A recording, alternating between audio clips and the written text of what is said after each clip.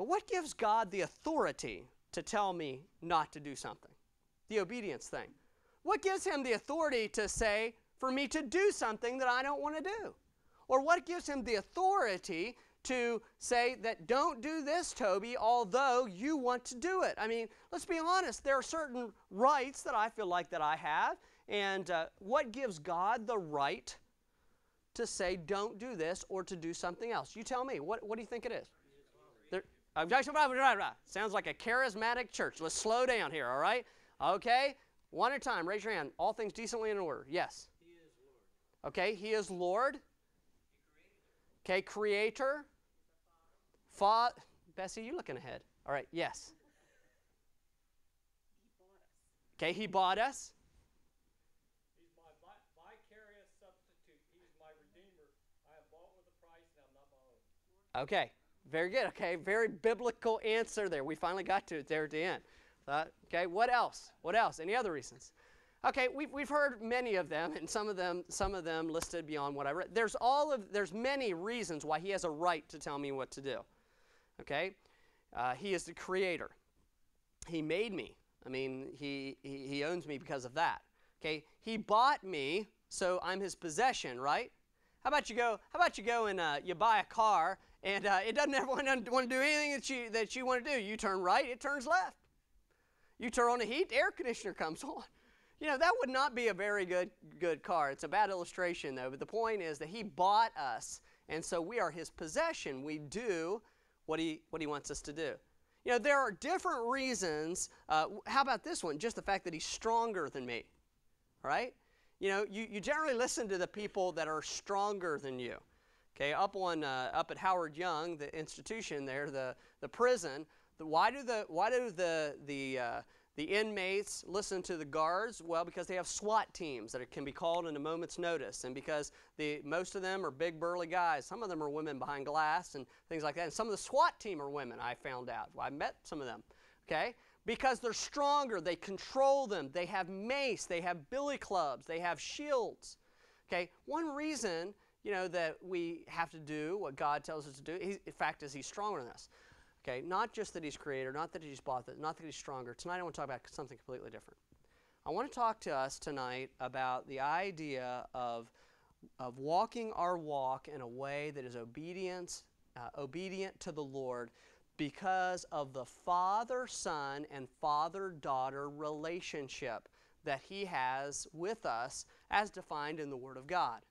Now, there's no way that I can just stand up here and, and just throw it out there and say, th- throw this out here and say, you know, uh, you need to relate to your, the way that you relate to your earthly dad. Just realize there's a Father in heaven, so you need to obey him. I can't do that for some obvious reasons. Look here. I'm going to tell you what my 14 year old daughter said right before we went out of the house.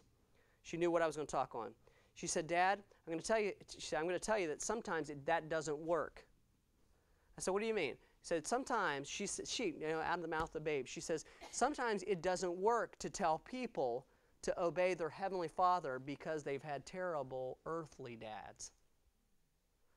Okay there's a great there's great wisdom there. Tonight i am not trying to appeal to you by the word father word dad. What we're going to look at is we're going to look at characteristics of how god relates to us as a father. We're going to see verses so put away your thoughts of any kind of other dads, other people's dads, your opinion of my dad, your opinion of your own dad. Maybe some of you didn't have a dad. Okay? What I want you to relate to is to understand through Bible verses, forget anything, don't try to compare God to your earthly dad, if he's good or bad. Compare God to what he says he is as a father. And I think that it's going to be great. And with the motive tonight that we walk obeying him happily because he's so worthy because he is such a good father. 1 John chapter 1, as we look at verse number 3 here, we see this. All right, we see that the author says, all right, notice beginning verse number 3, I want you to look through there. It says, That which we have seen and heard declare we unto you, that ye also may have fellowship with us. It says the, the author here, the inspired author, he says he's writing or he's declaring scripture to them so that the readers can have fellowship with Christians, with himself, with Christians, other Christians, with the Father, God the Father, and with the Son, Jesus Christ, the Savior. Okay, verse number four says that this fellowship of fellowshipping with the Father, communication, liking each other, talking to each other, two way conversation, uh, enjoying each other, thinking about each other, everything that word fellowship means, you know, simplest terms, two fellows in the same ship, you know, you know, the whole, that whole concept of, of, of, uh, of, being, of friendship and closeness with each other, that whole concept is necessary for full joy. Right? You know that you can't have the fullest joy in your life that you should have if your fellowship with your Father is not right. Your Heavenly Father, that is. Right? If you are looking for full joy. Now, I, I want to just say, say something here. That is not the primary reason to have fellowship with God, but it is a reason, and it is stated in these verses. These things have I written unto you that your joy may be full. If you want full joy, say amen with all your heart. Amen. Do you want to be happy? I do too. I realize I'm not the center of the universe, but it would be a nice thing. And that's kind of what it throws in here. The fullness of joy in your heart can only come when your fellowship with the Lord is clean, transparent, trust is there, belief in what He said, His promises, uh, uh, submission to Him is there, full willingness to obey Him is there. That is fullness of joy. That's where full joy will come from. Will come from, yes. He then states in verse number 5, you notice in the scripture here, that God says that He is something. What is He in verse number 5? He's light. He's light. Does it mean that He's bright? Well, I'm sure that He is. But is that really what it's meaning? Somebody tell me what it means. When He says that, that He is light and Him is no darkness at all, does he, does he mean that He's like a floodlight, a halogen lamp?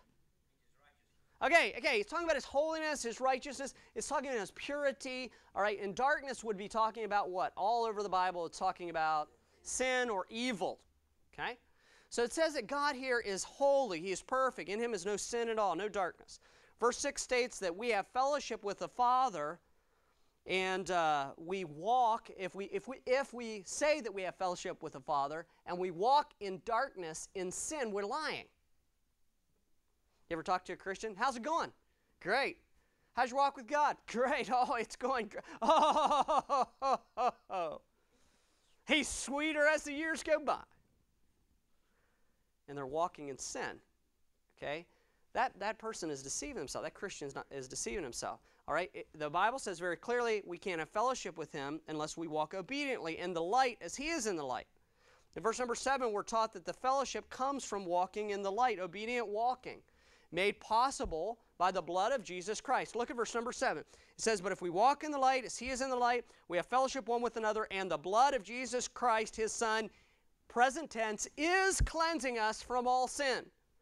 Okay, what does that mean? Didn't, didn't Jesus die one time and we were cleansed once for all?